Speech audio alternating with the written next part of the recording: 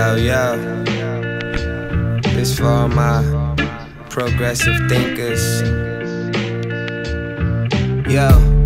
Cautious with the image that I'm giving. What used to be appealing is the shit that I'm resenting. Feel like I ain't living, I'm dealing with so much. On the low, I'm acting tough, but I ain't been happy in a minute. In a minute. And what's crazy is this is just the beginning. Riding around Vegas, trying to build my foundation. That immediate happiness is waiting, but I feel it's overrated. I'm keeping a clean conscience. I just wanna do my own thing. A good heart, but what if I'm out here fighting for the wrong things? Became a daddy and start watching my behavior. Helping niggas out, but niggas running out of favors. It ain't about the paper, it's about what you gon' do with it. You on your music tip, but tell me, is you the creator?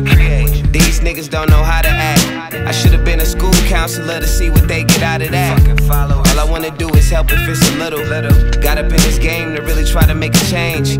Wanna settle down, but the shit is so confusing. I'm just going through a stage where I'm learning how to be brave. Keep your head up. Fuck a phase, this is life, all I need is me.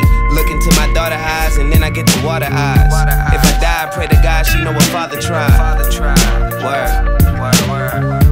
Cause we just wanna live our lives, embrace faith, when against all odds. In our eyes, to judge niggas, that is not our job. To be a man, it is not that hard. We gon' kill 'em with kindness. When they try to take you out your comfort zone, hey yo, it's time to be a man, understand. We gon' kill 'em with kindness. And you know you gotta fucking hold your own. Can't let them take us away from the fam, we gon' kill 'em with kindness. Now I'm thinking in reality. What you think? Actually, I was thinking about stability. I watched my single mother feed her for years just to barely pay the bills. I don't know, that shit's killing me. But I don't wanna live like that. Mama, I don't wanna see you live like that. I told my little brothers we can build a new life. For the ones that gave us life, we can get that back. I know we tend to hold grudges.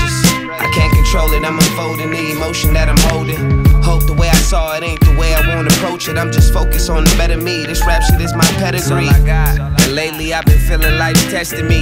She say she down and she say.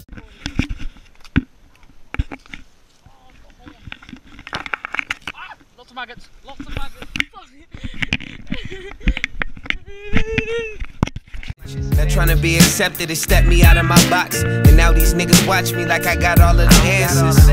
But this is what I build for myself. Realistic, always had to keep it real with myself. So when they talk and it's negative or it's false, we channel out the negative thoughts without any help.